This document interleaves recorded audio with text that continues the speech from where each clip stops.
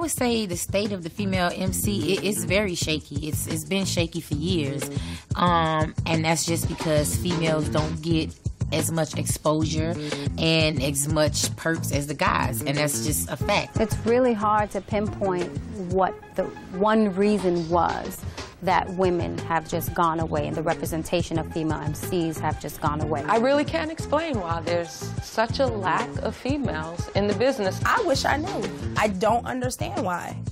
I don't get it. Whether it was the 80s, the 90s, now, then, or even tomorrow. It's just not easy. You know, it takes a very special woman to be a female rapper.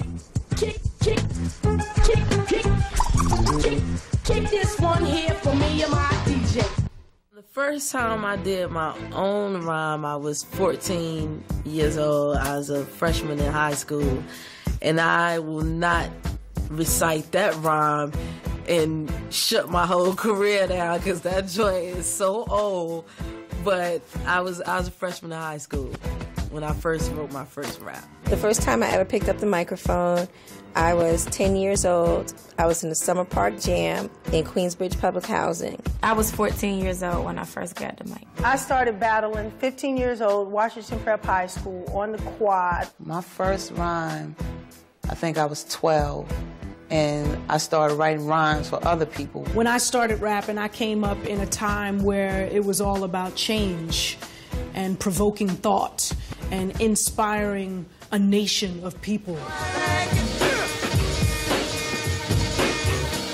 In the 80s, hip hop still belonged very much to the streets. And in the streets, we were a presence. In the streets, we were B girls. We had a very empowered position that allowed for a lot of different diversity. You can't get to the transformation of where women are in hip hop, what the contributions were in hip hop, without talking about the obvious. Mercedes Ladies came up, and the, and, the, and the combination of them was something that people had to go, whoa.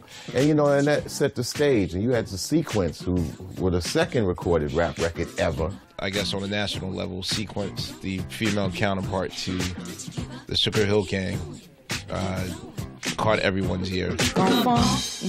Right on up. We gonna funk you right on up. Sequence with B. Angie B, who obviously, well, not to most, but is Angie Stone. The very first lady of of hip hop was Lady B. Uh, She would always drag her inflections.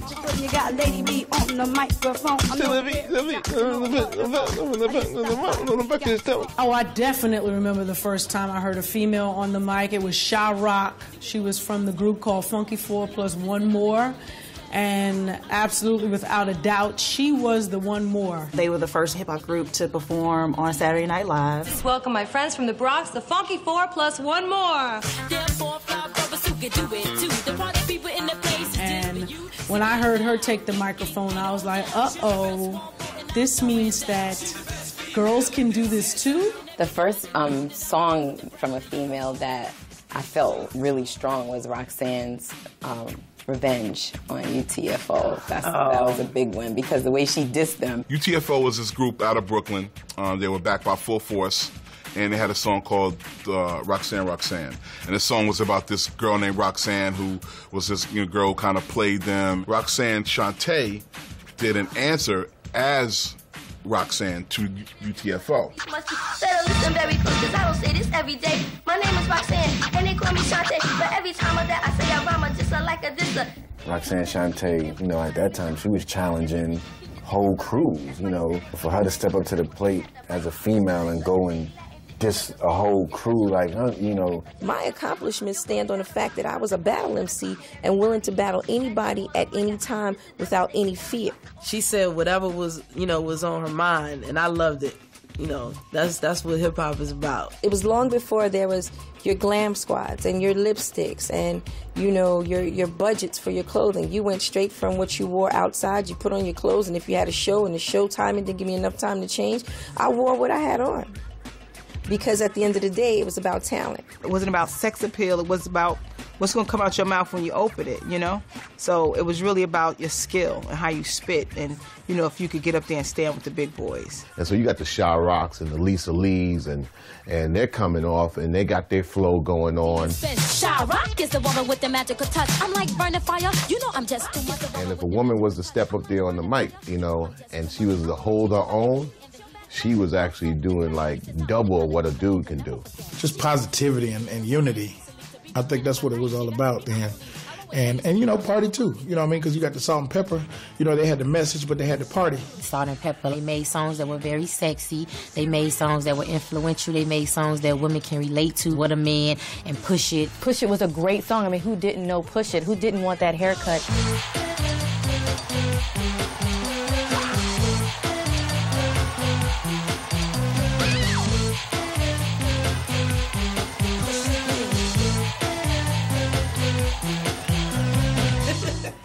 Dance, let's dance down, honey. We got to dance. We dance to every word, to every song. I look at those videos now, I'm like, everything. what in the world? Acting and doing stuff and our skits, skits, carrying on. Salt-N-Pepa came out in 1985. Showstoppers, they answered to Dougie Fresh's um, the show, Dougie Fresh and Slick Rick, like in a way that Roxanne Shante and the real Roxanne took on UTFO. Back then, that's how you got your foot in the door as a female. You Just know, yeah, nobody was really trying to hear you until you challenged somebody. It felt like the, the, the female MCs of the 80s were very just kind of natural. It felt like there were no stylists on board. There was no kind of creation of like who they were. They weren't manufactured in any way. Their identity was who they were. The women in the 80s, they were, I mean, they were just rocking. Hit it, baby D. I'm light skinned down, said I know what any indicated. That's rockers down, fake. I take your man, and you made them orange, rapping orange, capping. Everybody say I'm happy. If you try to hang with me, you should find it true. I'm always rocking, never stopping, devastating. You really had to rhyme like one of the guys in order to even be taken seriously. Cha cha cha to the smarty gras. I'm the dopest female that you've heard thus far. And I do get better. The voice gets wetter. Nobody gets hurt. As long as you let her. For me, the first, my first visual when I think of female MC is MC Lyte. She's walking down the street with this, I think it's white. You know how she used to wear the long coats over her clothes, and I remember her hairstyle and her earrings, and just, I loved her swagger. She just has a sharp tongue, extremely witty, super smart, clever, and just her flow, the cadence, just the way she just kills the beat is just like, ah. She's a real hardcore lyricist, a battle rapper, somebody that's just on a block with mad dudes is taking all of them down. Lyte to this day has one of the greatest voices of all time. I had studied the craft. I had, you know, practiced. I got my voice up where it was actually coming from my diaphragm, not from my throat, because I can easily talk like this, which is way easier, but people wouldn't even understand that coming from MC Lyte. So it was always on. Ready to bag another brother that he ranks not rough enough. Cause if it ain't rough, it ain't right. And if he ain't right, well then he's all wrong for the light. There was so much more diversity that you understood. Um, you know, everyone could, could, could be somebody and be exactly who they were. They were just all about rhymes and just, you know, putting positive energy out there.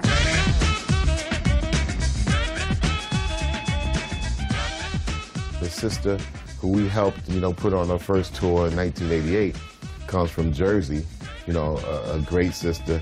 You know, Queen Latifah comes along. With uh, Latifah's entry, and you just saw sort of a, a changing of the guards. It was more about uh, pride and honor. Queen Latifah stood up as a strong young black woman and was just like, who you fooling a bitch? Like straight up. I am a female, a powerful black woman. You're gonna respect me. Like when she came out with Ladies First, it was it was women felt empowered. Latifah was that queen, the first to, to wear a, a head wrap with that looked like the crown. And on top of that, you know, she was a, she was an Amazon sister. You know what I mean? She took her space. She made her place.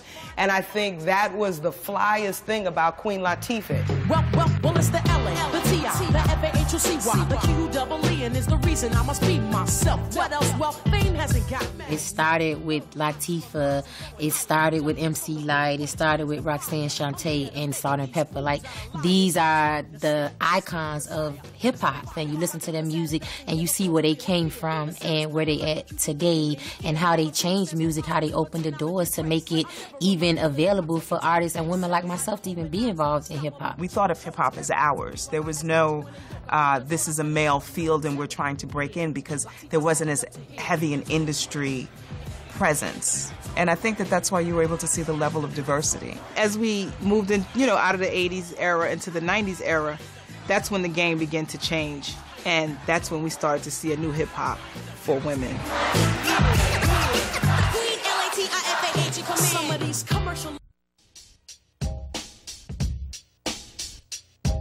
I think that it's hard to define a specific time as the golden age of hip hop because when you think of it as a whole, you look at like the late 80s and the early 90s as the golden age. But for women, once we hit the mid 90s, they were more widespread. Well, 95, 96, just incredible years for hip hop in general. That era was most definitely the golden era. You know, the golden era of hip hop when it came to female MCs. I mean, we were there, we were out there, and we were doing it. There was such a variety of music that I think whoever you were, you had a chance to shine within your music. It was just coming back to back. People were feeling it at that time and were accepting of it. And the numbers were actually starting to add up to the labels like, wow, she's, you know, she's checking at retail. Hip hop was becoming pop music, right? And therefore hip hop was making a lot of money. And so pop music needs female figures. So, you know, record labels everywhere, everyone was on a hunt to say, well, what female act do we have? You know, and, and if hip hop is going to be pop, that can't just be a male thing. If the 80s kind of started the history of female MCs, the 90s exploded it, right? I mean, the 80s, there were probably 10, 12 kind of female MCs who ever got any shine. But in the 90s, we saw that number balloon to 35, 40 female MCs who were signed to major record labels, who were out there touring, who had singles on the radio. And this is across the country. On the West Coast, you had Boss, Oaktown 357, all those women out there. On the East Coast, you had folks like Mecca and Lyte, and then of course Kim and Foxy Brown. I mean, it was it was hard to turn on your video show or to listen to your radio without hearing a female voice. They were getting guest verses on hot songs. They had their own songs, and so that push to find a female identity, to find a female star. Uh, was significant, and so I think that led to many opportunities for young female MCs to get some shine. And of course, all these females came and they had their crews behind them. There were very few who didn't, you know, have a posse of men behind them. It was cool to have a female coming out, you know, maybe a camp signed to the label, and if, and they have the first lady of this camp.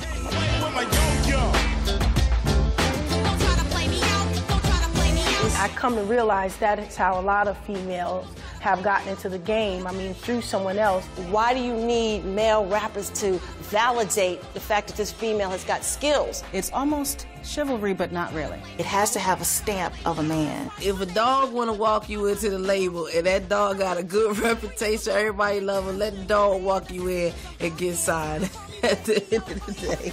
It is what it is. I never really thought about it one way or the other, whether it's chivalry or or sexist. It's it is what it is. Thank you. Regardless of what it is, thank you for opening the door. Lil Kim was a developed artist by Biggie, and you could tell. Rat was a developed artist by me. Salt-N-Pepa was a developed artist by Hurby Luv Bug. It's, it's, it's, it's, you have to you have to put work in to make these artists work. You can't just put them out. You don't want to be a female version of any male because anything that happens to him happens to you. Historically, you see that they couldn't stand on their own for too long um, without their male counterpart, which is really, really sad. When it was time for my album, at that time, the dynasty was crumbling. Uh, Tupac got shot, Suge got locked up, Dre left, Snoop left. Um, so it was basically just me. It wasn't like The Chronic. It wasn't like Doggystyle. It wasn't like the Dogg Pound's album where we would go in and we would just hang out all day and we would just be there.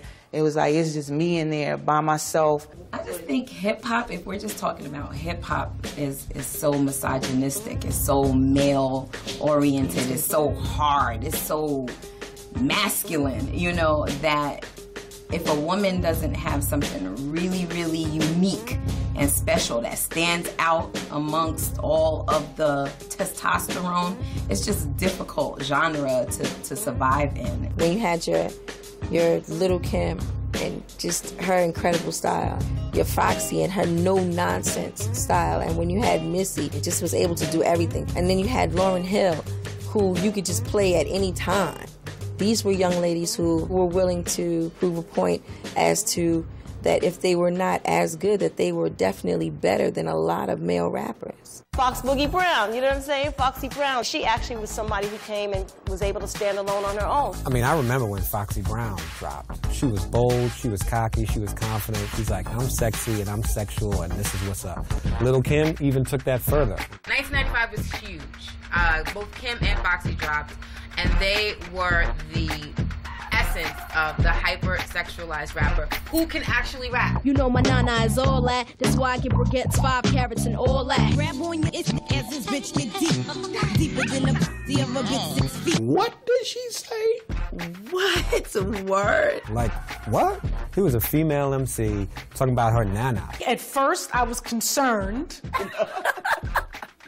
I mean, I was just as shocked as the rest of the world when, when Little Kim came out. And then it was like, oh, okay, this this is something that needs to be said. If it didn't, no one would listen. And guess what? Everyone's listening.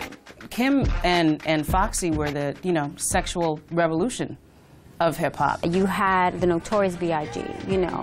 He molded Kim a certain way. You know, he made her be the woman that, that men wanted, the male fantasy. Kim was the ultimate male fantasy because not only could you get her and she'd put it on you, but you could kind of own her. That strengthened the male fantasy. The pleasure principle, but the man can still rule with an iron hand, is appealing to almost every man on the planet. Whereas Foxy is like, uh-uh, you ain't my daddy. You know what I'm saying? Let me do me. I'll ride with you, but we're here. We on this. You get paid, I get paid. You know, she was fearless. You know, she didn't care. But you just look at her first video, her first time, you know, I shot you, you know, and how she came on that record, just the minks in front of things. Thugs against getting showdown. We sip drinks, rockin' mix, flashing rings and things. I mean, that year, 1995, to have these two women come on the scene, both looking amazing, both putting their sexuality in your face, on your TV screen, all day without shame, that was, that was a, a, a moment of change in hip hop. And when that happened and it was able to sell the way that it sold, that was like, okay, that's the formula. That's when we really began to get this prototype of what a female MC is and should be. a little bit of the industry and maybe the artists themselves felt like, you know, me wearing my clothes like this, maybe I gotta go a little tighter. I just felt, was feeling like, wow, what do I do now? Uh, Do people really want to hear Black Pearl right now when she's swallowing a Coke bottle with her kitty cat? I just remember sitting down, writing lyrics, balling them up, uh, you know, trying to be more sexy, trying to write something that just, trying to find that happy medium where I didn't compromise who I was as a person. You know, so I was like battling with myself, like, wait, maybe maybe it's over for me. You know, being a female in the industry, you were encouraged to show a little more leg, a little more a little more whatever. It, it was pressure. If you got an artist that could come out and have on a two piece and then somebody come out with baggy clothes on, it's like, do I really want to go on stage behind that artist? But I don't want somebody to tell me you need to lose weight so you can look like this, or you know that's going to make me not lose weight because you're telling me I have to. No, well I'm gonna be this big for a couple more months until I get ready. In the 90s, when you know uh, hip hop really started to be a, a, a commodity, a business, um, and understanding, I guess, as we do in, in everything else, that sex sells. And taken out of the individualism and more of the marketing and molding and being like, okay, you know, what can we do to exactly make this a product? There are precedents for the silence of women just as hypersexualized bodies being extremely lucrative. So I think that that is become that's the model. That's like if you put A and B together, it will sell and we'll be able to make this kind of money.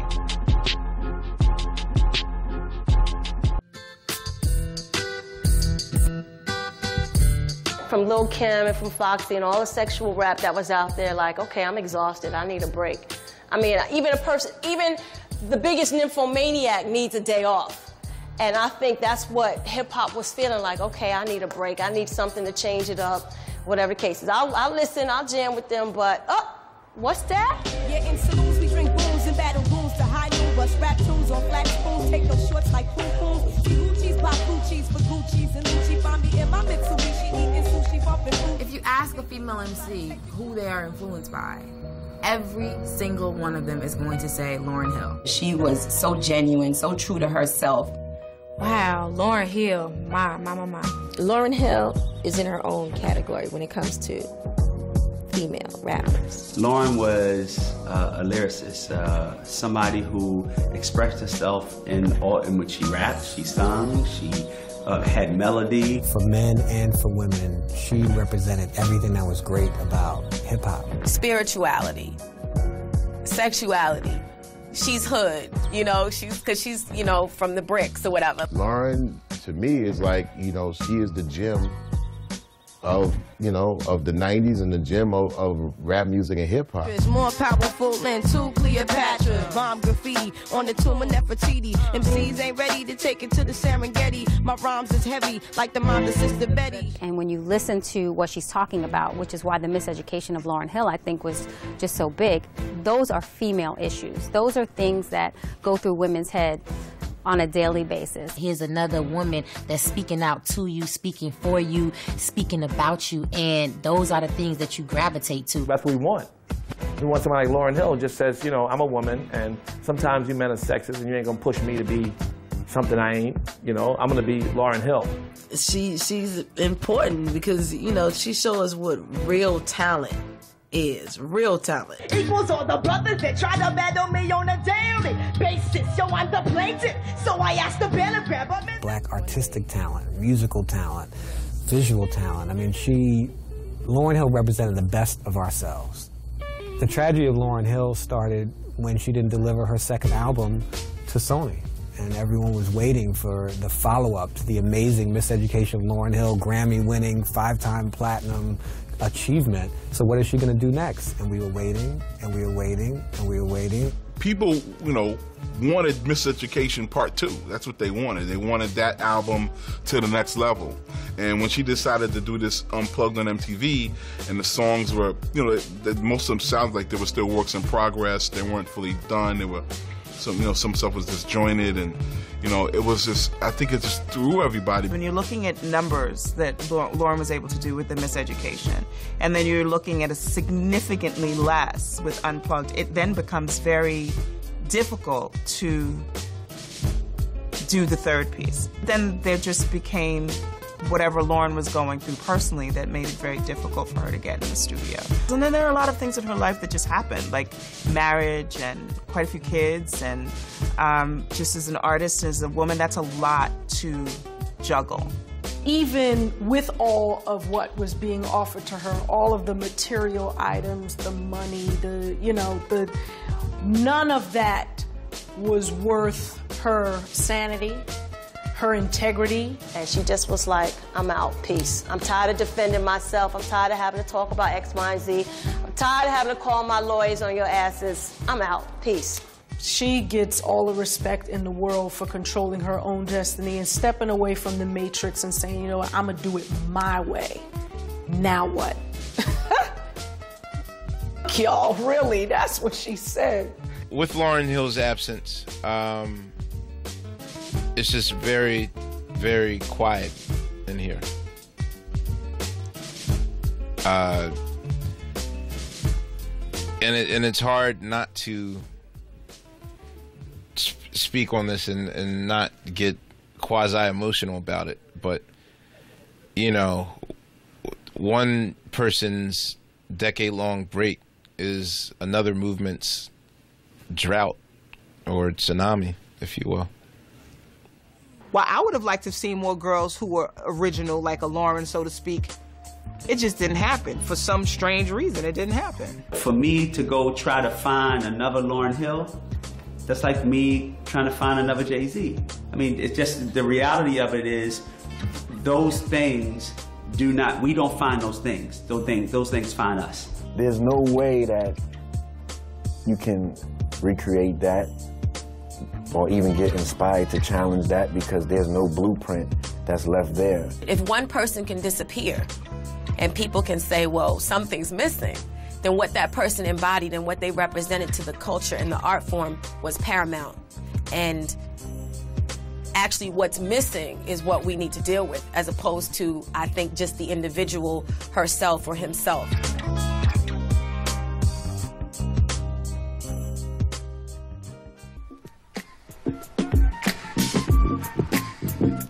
Bar for female MCs is set so high, um, but it doesn't mean they haven't hit it.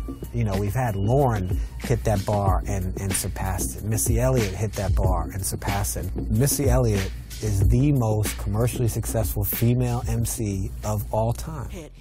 When Missy Elliott came on the scene, I mean, she came with such a force. Oh my God, Missy, she's an innovator. She did her thing and she came and it wasn't about not wearing any clothes. She brought pure and raw talent. You'll never find another Missy. Never, ever. Missy be putting it down. I'm the hottest round. I told y'all, y'all can't stop me now. It's like she makes sure she put that spin on it so you laugh a couple of times while you listening to the song. She'll have you rolling. She brought something that I get most people were scared to do. She never was scared, ever. Let's put aside her songs for a minute, her videos. The first image of Missy, she's blowing herself up in a black plastic bag in some weirdo, crazy looking video. Literally, put herself in a hefty bag, made herself bigger than she already was, danced like a straight up fool on camera, and made us fall in love with her. You wanna play with my yo-yo? Uh-huh. I smoke my on the D-Lo. That video was so groundbreaking, earth shattering. You were mesmerized, you just kept watching it. I can't stand the rain. It's like, who thinks of that? Where did she come up with that? How did she think of that? She was being authentic to herself, and I think once you do that, you that always wins. And that allowed her to be a female MC that didn't have to choose either be hard or be sexy. She could just be Missy. She is in a male dominated field. Not forget about the MC aspect of it, but just the writer's aspect, the producer's aspect. You know, I work with her in the studio and she's a real producer. She's a real songwriter. She knows what she wants. So that's a triple threat. She's going to war with a different type of machinery and, and it works. Missy's fabulous. And that's her identity. Who's Missy? She's fabulous. I'm most definitely blessed. First of all, like I'm, I'm blessed, and nobody could ever have told me, you know, that I would be at this place because you just never know that. So all I can say is, is I'm blessed. I think that the music business, as much as a lot of people say, oh, hip hop is misogynistic and hip hop is this and hip hop is bad and hip hop hates women, did these women sell records? Plain and simple. When you ask executives why they don't sign women, they say women don't sell. And, you know, you think about the late 90s, the, the years, this 96, 97, 98, where Foxy and Kim was selling 2 million and Missy was selling 2 million and, you know, Lauryn Hill was selling 10 million, you know, and they say, well, they don't sell. It depends on where they're actually coming from with that idea because, one, they do sell, they have sold. So if the 80s had, you know, a handful of folks kind of starting the history, the 90s exploded. But then, interestingly, in the new decade, in the 2000s, it went back down. You know, so we went from 40 female MCs who were really getting shine to back down to 10, 12 again. And it was, it was slim pickings. It was hard to find, you know, a female MC of any worth who had the support of a major record label. Um, and that was disappointing because, you know, what it meant was that female MCs weren't getting the same kind of opportunities that they were suddenly getting used to in the 90s. Then where did they go? I don't believe it was like a ban against female rappers. There was no secret meeting. Nobody said, okay, we're not going to empower females. The industry started to change. Major corporations started to dictate what, you know, what can stay around and whatever can stay around has to be able to sell units. Truth is, that artists got to sell a zillion records or be very powerful to even keep a label deal. I've been in different meetings from the label you know, being an artist that was signed to a major label, Atlantic Records, and and with just the expenses and and just the touring and the glam and just so many extra things that come along with being a woman that you need to that needs to be taken care of. I think just for most labels and looking at the females that are that was in the game, it just became too much. For women, there's this whole image that has to be built around them. And so I think that labels just at a certain point wanted to stop dealing with female MCs because it was like they're too much of a headache. You know, I got five hours of makeup, it's costing me this amount of money. I think when it comes down to budget and they start looking at the numbers, you got to pay for that hairstylist, you got to pay for the makeup artist, you got to pay for the styling, whereas the men could care less. But three to zero, and we're talking thousands of dollars here, something's got to go. We do need a lot. We do. It's it is what it is. We do need a lot. We need a lot more than guys do. As a woman, you just want to always be at the top of your game. You need your hair, your makeup, your manicurist. They can't be out there for months and weave toe down, nails just hanging on by a thread. Your neck is cramping from sleeping on the plane. You tired, feet is swelling from the platforms and the shoes that hurt all day. See, guys, they pretty much can, you know, bring a little barber out and put on a white t-shirt and some jeans. Chicks, we gotta go shopping. It's a whole shebang. It's a part of the game. It's a part of who you are as a woman, and you must must have glam. I would not go nowhere without it. It's the emotional part of being a woman. You know what I mean? Um, and not that men aren't emotional, but obviously, as a woman, we're way more in touch with. Um, missing home, missing our friends. Being on the road, going from hotel to hotel. The difficult part was just being a female on the road, living out of a suitcase. I mean, you the guys used to bring girls back to their rooms and, you know, go to the clubs and have a good time and it was like one big party. It's hard living out of a suitcase as a as a girl. It's lonely yeah. because you can't bring a guy back to your room every night, you know, so she it's said very every night. no nice. then you know if something going wrong with your relationship, we be ready to come off the tour. we stop doing shows, so it's you, you know it is it is different for us to guys and girls maintaining being hip hop stars. Guys, theirs is pretty simple. Ours is it can be an emotional wreck for real. There are a whole lot of reasons why female rappers aren't as prominent in the hip hop game as they should be. But to me, honestly, I believe the bottom line is it's a boys' game. It's it's a man's world, straight up. Male rappers have such an amazing amount of power and influence. And if they're spending a majority of the time dissing African American women, then what is expected of the people that they're performing for or the people that are buying their records? Um, it, it's not much to be said for them wanting to spend money to hear an African American woman speak her mind.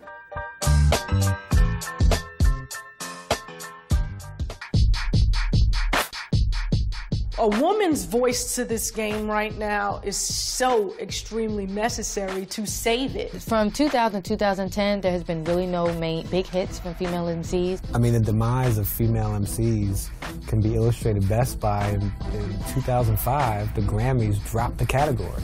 There was no category for best female MCs in the Grammy anymore, probably because they couldn't find enough people to nominate that's that's crazy. If that doesn't illustrate, you know, how far we've fallen as a sorority of female MCs, nothing does. This is why there's no categories in award shows for females because if you got one artist, myself, that's out and nobody else to put up in the category, then there's no category. Trina's been around 12 years and is still making music. Business wise, she's definitely held her own because just to hold down females in hip hop for a whole decade alone. Whew, I know the pressure, sister. I do. The most impressive thing about her, honestly, is that she in the 12 years she's never gone away. It's not like she's had these year or two dips. So it's like, whatever happened to Trina? Like she's always on the scene. So she figured out branding very early on. She really understands her audience base, and that's something that's really important for any artist to do. Um, do I feel that many women of color, particularly African American women, feels that Trina speaks for them? No, but for the women and men who love her, she's really consistent in terms of what she puts out. You don't see a whole lot of variation. Um, she knows what her audience wants and she delivers. They don't really want to see you in the baggy jeans. They want to see you sexy because you're a female. I'm a dude. I'm not learning nothing from you. I just want to see you. So whatever you're talking about, I probably don't really care. I'm just I want to just look at you. And whatever you're saying, it all sounds good to me. You know what I mean? And and that's just real. It's just how it is. I mean, it's, it's hard, right? Because hip hop is based on the truth. That is that is the thread that we need in all of this music and this culture. Be who you are. But when it comes to a woman's story, being who they are, more often than not, is going to have tales about how a man has done them wrong, right? And ultimately, you don't want to hear that. You know, when you have your Remy Ma's and your Rah Diggas, yeah, people love it, but I can't really relate. They want somebody who might be a little closer to Kim Kardashian with a with a mic in her hand. Tum tum like in Lebanon, harder than in Pakistan. Click, click, click. A la Nicki Minaj. She's giving you hair, she's giving you contacts, she's giving you boom bang body and fashions and all that other stuff.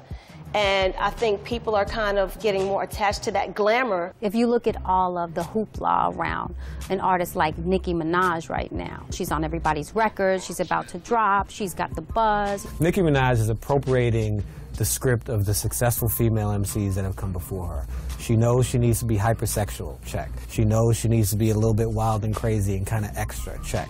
And she knows she needs to be up under a, a really dominant male MC and be that kind of ride or die chick, check. Wayne actually found Nicki and he got her on the page that she's on right now. And uh, to me, she's a female version of Lil Wayne, actually, if you ask me. And I, I feel everything that he did when I watch her. And I don't even know what he did. She's nice. She reminds me of Missy, Kim, and Eve combined because she has that character that that you know that stuff she does. That's kind of like Missy. She has that sassiness like uh, Eve, and her style to me, her style of dress and her colorfulness is Kim. But at the end of the day, Nicki Minaj can rap. Period. She's interesting to look at and she's interesting to listen to. I'm on stage, you can sit in the crowd. I be up in Lear jets, make a laugh at the cloud. Well, I'll be honest with you, we've discussed her in the office, like, is it time we do something with her? And the team had decided how we should look at her. Do we celebrate her? Do we question her? Is it just a news piece? Like, this is where this is where hip female MCs are going, and we still haven't all agreed. I don't know if people are like, okay, we need to sign more, more female MCs because Nicki's having success. I think there's still a wait and see attitude on, from labels to see what's going to happen with her and if it's, you know, if it's worth it to, to kind of open the doors up a little more. I'm working with Nicki Minaj right now. You know, we about four, five songs that we're playing around with. She had a head start being with Wayne and Young Money at the right time. So it jump started her, but, but but by her jump starting, she jump started a lot of female artists. I don't knock the sister because I, I'm sure there's a lot of pressure on her just being the poster child for female rap in 2009 and 2010. But in terms of the preservation and the continuation and expansion of the art form of hip hop music and culture, I can't see what she's creating um, when she goes in the studio. Meanwhile, females like myself, we in the underground paying dues. Like, we're committed. I definitely think that underground and indie actually is the future. You cannot have any type of movement without some sort of subculture first. Female MCs, they haven't gone anywhere actually. Um, they're still here, and if you are really and sincerely interested in finding them, you just have to search and look. There's new MCs coming out, you know, Iris, who's amazing. Definitely have to give a big shout out to Invincible from Detroit, Eternia, Medusa, Bless Roxwell, Psalm 1, Tiye Phoenix, Jean Grae, Bahamadia, Candy Cole out in LA.